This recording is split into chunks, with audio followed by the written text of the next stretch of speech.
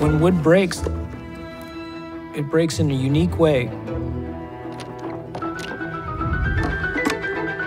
And if you leave a crack open, the instrument buzzes. It can be really frustrating. It's hard to find that last little buzz in the cello.